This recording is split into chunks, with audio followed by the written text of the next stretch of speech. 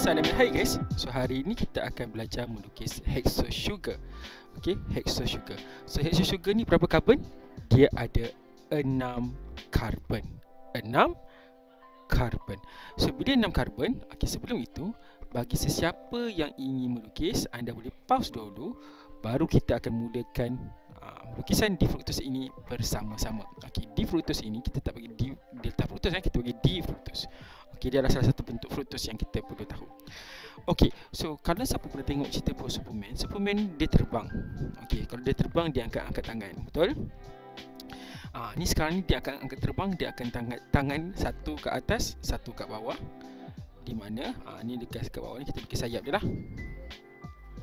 Okey, so bentuk di fructose ini, okey dia nak carbon tapi di kepala dia tak sengit, kepala dia tegak. Okey, so macam ni kepala dia tegak, kita lukis macam ni. Okey. Nampak? Okey. Seterusnya kita tambah kat hujung ini CH2OH. Dekat sini kita tambah CH2OH.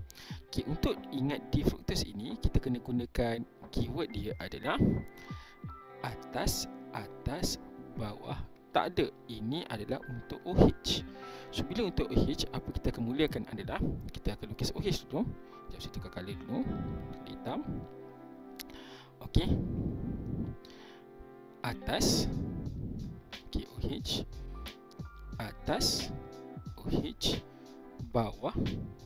OH dan tak ada tak adalah ok di mana? Yang mana tak ada ni kita tambah H. H. Dan H. Okey, so ini adalah lukisan di fructose. Yang kita kena ingat AABX ni adalah uh, susunan OH di mana hexosugar ini dia melambang ke kepada 6 karbon. 6 karbon. Okey. Mana karbon tu datang? Jom kita lukis. Okey, ni karbon yang pertama. Karbon kedua. Karbon ketiga. Karbon keempat. Karbon kelima dan karbon ke-6.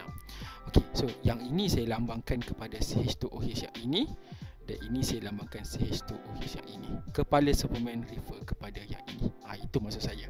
Okey. Alright. So harapnya lukisan ini dapat membantu anda untuk memahami cara untuk melukis di dengan lebih mudah dan dengan lebih selamat. Okey, itu saja dari saya. Sekian. Assalamualaikum warahmatullahi wabarakatuh dan salam sejahtera.